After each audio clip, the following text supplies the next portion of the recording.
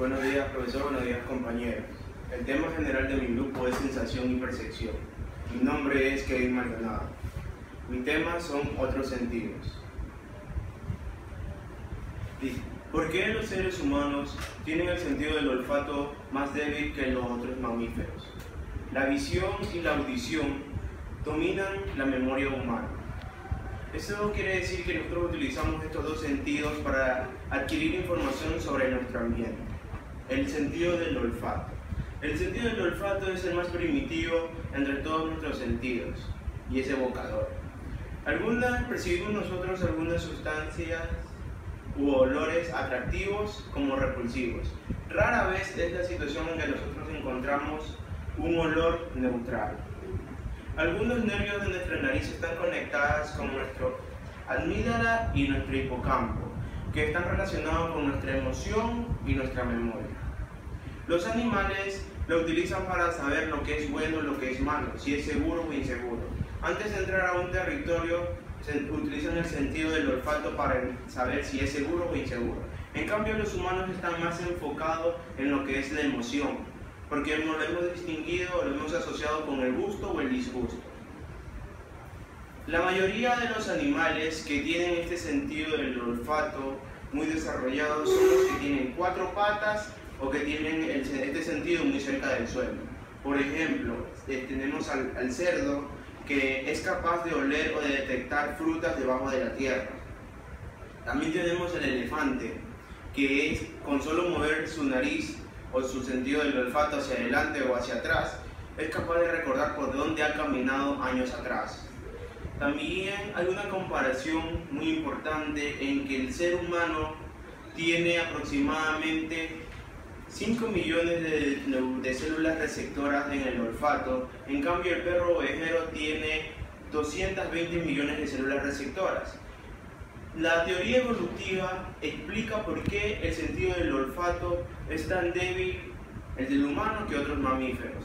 Y la explicación es que cuando nuestros antepasados estaban de forma este, cavernícola, podemos decirlo, este, utilicé los enemigos, el sentido del olfato era muy desarrollado, pero cuando empezaron a dejarlos este, a caminar por los llanos, dejaron los bosques y caminaron de una forma erguida, pudieron ver a los enemigos, las presas, los animales, las plantas, los frutos de una forma más visible, es decir, que utilizan el sentido de la visión y la audición. Por eso nuestro sentido del olfato es muy débil. A continuación tenemos el sentido del gusto. Los seres humanos somos omnívoros. ¿Qué significa esto? Que comemos de todo. Pero esto depende también de nuestra cultura, porque son nuestro gusto es muy peculiar a los de los demás. Es el único gusto, no lo tiene cualquiera. Además, este, tenemos también este gusto, tenemos las células gustativas o células de gusto que son están en la punta de la lengua, en los lados laterales de la lengua o en la parte superior. Entender el gusto debemos también entender el sabor. Y para entender el sabor, hay que, el sabor tiene que estar asociado con los sentidos del gusto y el olfato. Porque en una comida podemos saborear o podemos deleitarnos con el gusto, pero no podemos sentir el sabor. Si nos tapamos la nariz, solo vamos a sentir lo que es de gusto, que es lo dulce, lo salado, lo ácido, lo amargo, podemos detectarlo, pero no podemos llegar al fin de saber por qué. También puede ser este, con el gusto, tenemos, un adulto tiene 10.000 papilas gustativas, pero esto va decayendo a transcurso de la edad. Por eso es que a las personas ancianas este, no les apetece o no les atrae mucho la comida. El sentido del gusto es igual que a los otros sentidos adaptativos, porque por ejemplo podemos comer algo muy salado. Al principio la percepción va a ser muy fuerte, pero de poco a poco se va, como decir, acomodando o, se va gustando al sabor salado. Por ejemplo, en el sentido del olfato, el, al uno de echarse perfume puede ser muy fuerte el olor, pero después de una hora del transcurso va a ser un poco más débil y va a ser aceptable. Uno no puede percibir el olor del perfume, pero la persona que está en nuestro entorno puede percibirlo aún. A continuación, mi compañero. Mi nombre es Karen Marejón. El tema a continuación es los sentidos de la piel. De todos los sentidos, el tacto es el más reconfortante. Casi en la mayoría de las sociedades, los saludos y los despidos son acompañados del tacto, como un agarrón de mano o un abrazo. Eh, por lo general, casi en todas las culturas, eh, las parejas demuestran su afecto mediante el contacto, ya sea besándose una boca, eh, agarrándose las manos, acariciándose. El tacto juega un papel crucial en el desarrollo humano. hace muchos años se decía que los bebés prematuros eran aislados y muy poco tocados y eran muy frágiles ante el contacto. Eh, pero varios estudios encontraron que los bebés prematuros que recibían un suave masaje aumentaban el peso más rápido que el bebé que no era tocado. Eh, nuestra piel es el órgano sensorial más grande eh, ya que nos protege del medio ambiente, contiene líquidos corporales y nos regula la temperatura interna. La piel tiene numerosos receptores nerviosos. Eh, las fibras de estos, de estos receptores pasan al encéfalo mediante dos vías. La primera es la información llega a la médula, llega a la médula espinal, luego pasa al hipotálamo y por último a la corteza sensorial. Eh, la segunda es la información pasa por el tálamo, la formación reticular que es la responsable de tranquilizar o activar el sistema nervioso. Eh, también nuestras expectativas influyen mucho en, los sentidos de la piel. Eh, un ejemplo es que cuando alguien nos hace cosquillas, nos volvemos inesperadamente sensibles y excitados, pero si nos hacemos nosotros mismos, esto no tendrá el mismo efecto. Los receptores, los receptores de nuestra piel experimentan varias adaptaciones sensoriales, ya que, un ejemplo, cuando nos vamos a bañar en una tina de agua caliente y al principio será un poco intolerable la temperatura, pero al pasar los minutos el cuerpo se adaptará al calor. El dolor. El dolor es una señal de advertencia diciéndonos que hemos sido lastimados o que algo anda mal. Demanda nuestra atención y nos impulsa a actuar. También cuando nuestro cuerpo está luchando e informa a nuestras defensas cuando hemos reaccionado demasiado y les indica detenerse. La sensación de dolor es muy compleja, ya que en algunos casos la herida física no es acompañada de dolor. Un ejemplo es cuando una joven sufrió eh, quemaduras al tocar una olla de, agua caliente, pero no, sintió nada. Eh, otro caso también es cuando la gente siente dolor, cuando la gente siente dolor cuando ya una herida ha sido sanada o una lesión. Este es un ejemplo cuando, la, cuando alguien, alguna persona sufre amputación de un brazo o pierna, continúa sintiendo que sigue ahí, pero el dolor va a disminuir cuando el encéfalo ha reorganizado las neuronas asociadas con el miembro amputado.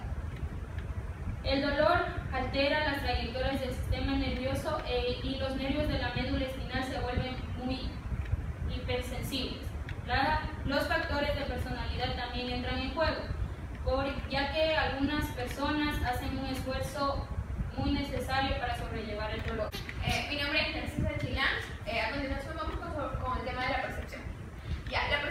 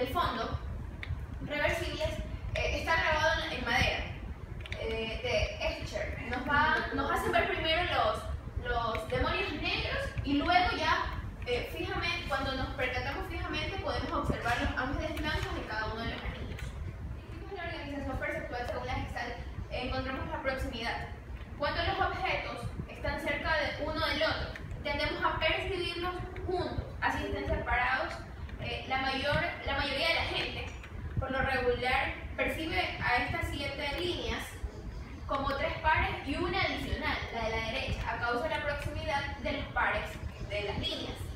Luego también encontramos la semejanza. Los objetos que son de color eh, trama o forma son similares, por lo regular se perciben como, eh, como, o, como que forman parte de un patrón. ¿ya? Eh, la, mayor, la mayoría de las personas estamos acostumbrados a percibir la, a la primera figura como vertical y la segunda como una columna de cuadros o una cruz. En el cierre, tendemos a pensar por alto o lo incompleto que la, eh, o la información sensorial tiende a percibir que eh, el objeto está cerrando y abriendo alguna, alguna eh, corchetes. la continuidad. Los elementos que siguen un patrón o dirección tienden a ser agrupados como parte del patrón. En esta figura tendemos a percibir la línea ondulada cruza tres montíbulos cuadrados, aunque cuando la figura podrá percibirse de manera justificada entre las dos líneas separadas. Ya. Vamos con la percepción de distancia y profundidad. Eh, tenemos las señales monoculares, que son señales visuales que requieren un solo ojo o de un solo ojo. Las señales, las señales binoculares, que estas requieren de ambos ojos. La perspectiva aérea, eh, que es la señal monocular de distancia, profundidad y profundidad basada en el hecho de que es probable que los objetos más distantes parezcan brumosos o algo borrosos. La, la gradiente de textura es una señal monocular eh, de distancia y profundidad basada en el hecho de que los objetos vistos a mayor distancia parecen ser más tersos o con menor textura. y como eh, y, al final la perspectiva lineal, que es una señal monocular de distancia y profundidad basada en el hecho de que dos líneas paralelas parecen unirse, unirse ya en el horizonte, como por ejemplo en un mar. Muchas gracias. Mi nombre es Lucero Benítez y a continuación les hablaré del sentido sinestésico. Bueno, es capacidad que permite ser consciente del movimiento muscular y de la postura.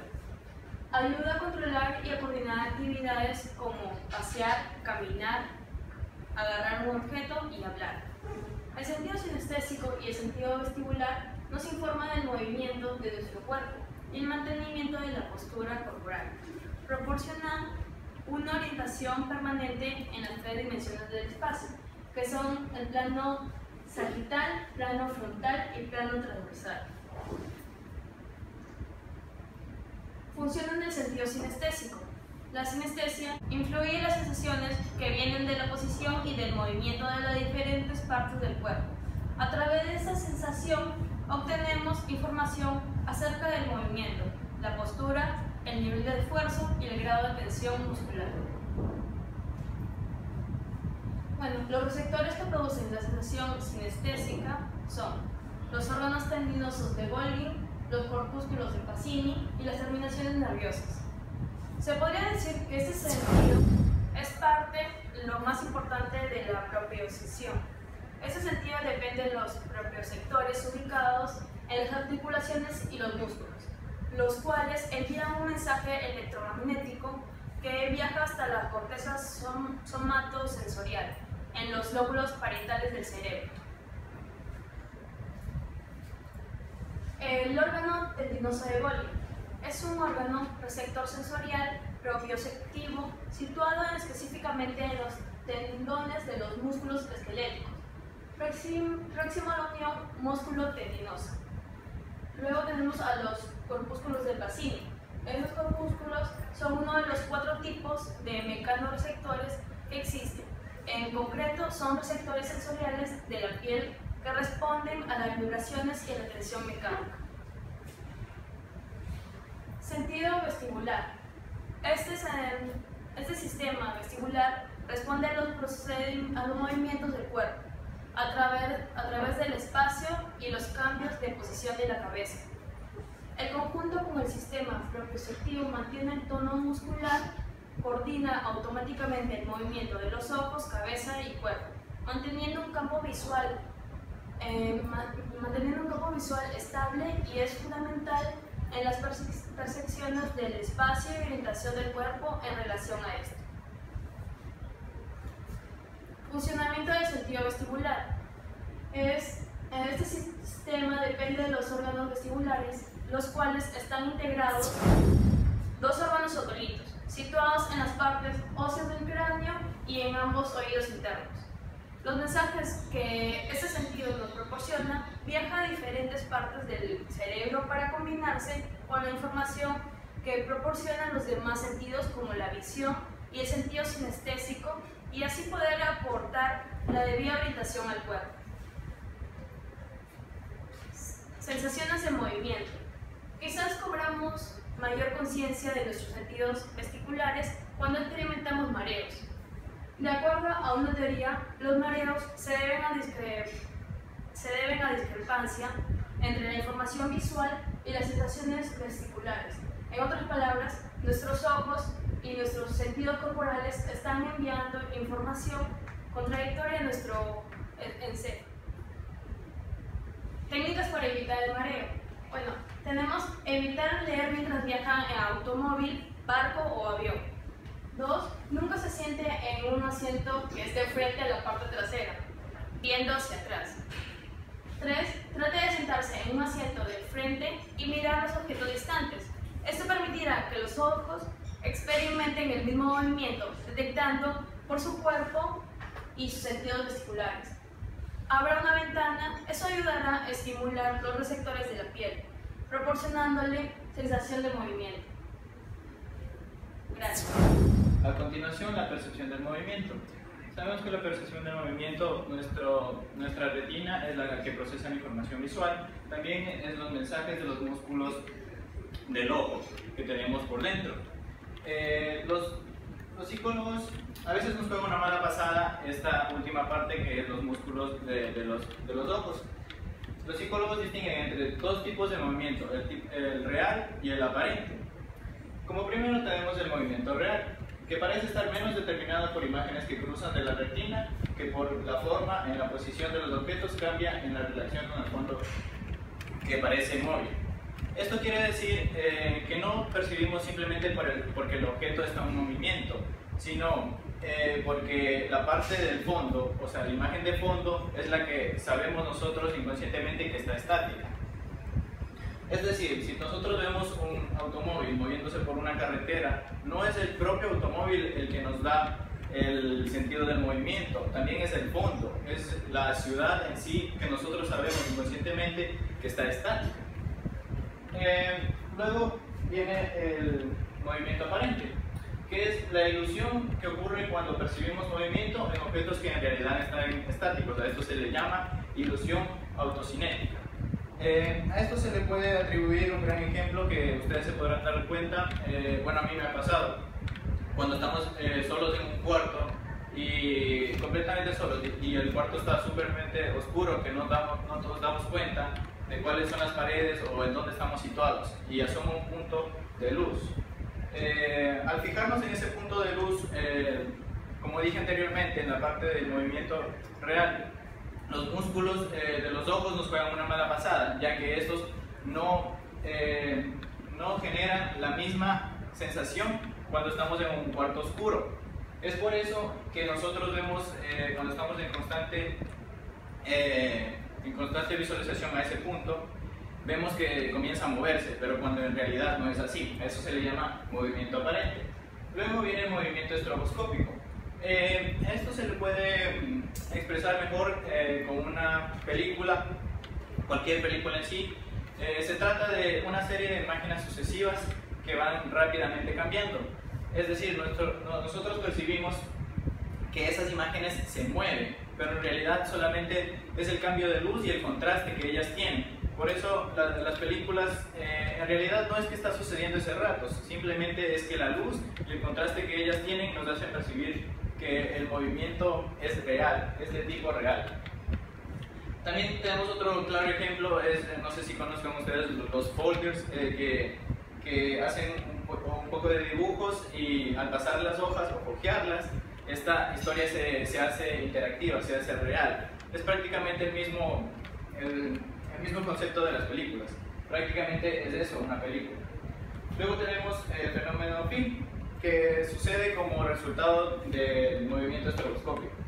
Eh, a esto se le agrega eh, o se le atribuye a las imágenes que vemos en una, por ejemplo, en un cuarto oscuro, nosotros vemos que un punto de, de, luz se apaga y se prende constantemente, pero en un cierto grado de tiempo.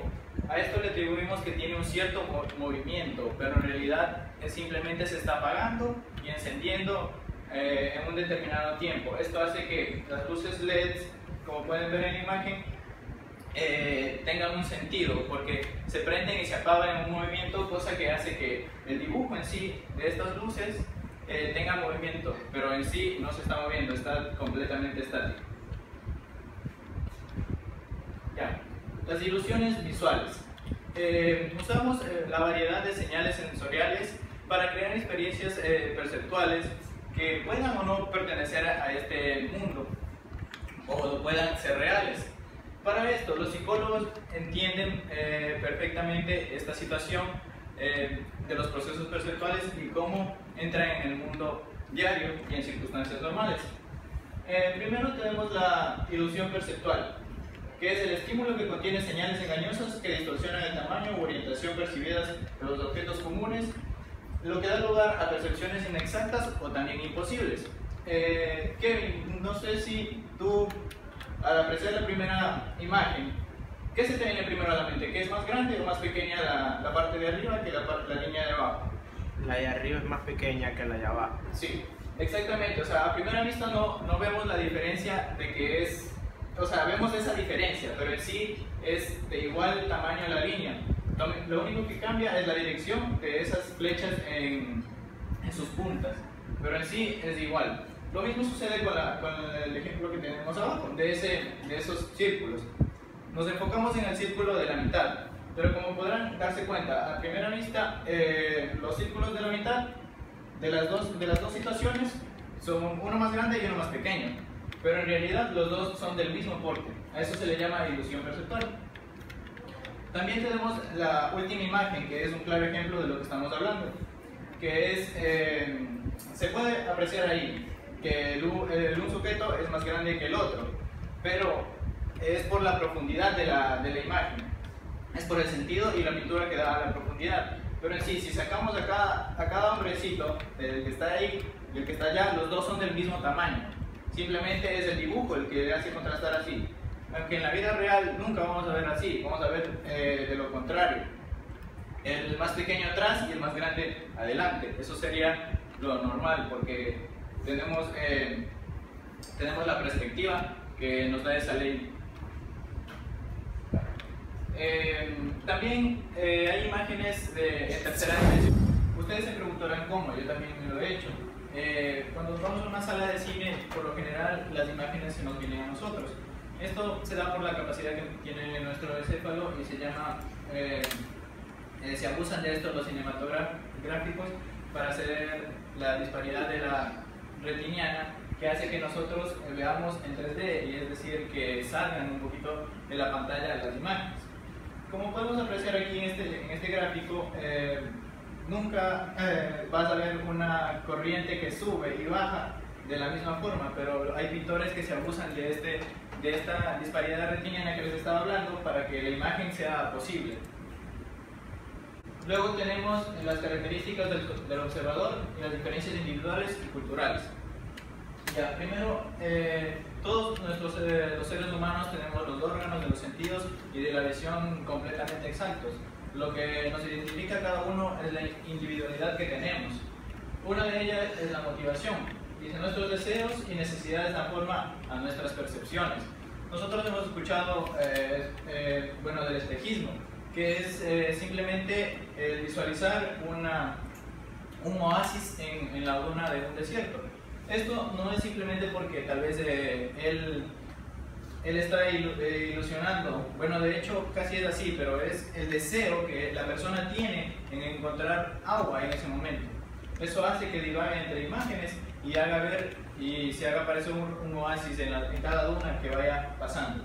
Otro ejemplo claro es pasar sin comida eh, durante un cierto tiempo. En una medida de 16 horas, las personas comienzan en, en divagar entre imágenes que entre imágenes de comida. Entonces comienzan a salivar y pensar en una serie de imágenes, pero que en realidad son tan vívidas, pero en sí no son reales, solamente es la motivación que les hace ver esto.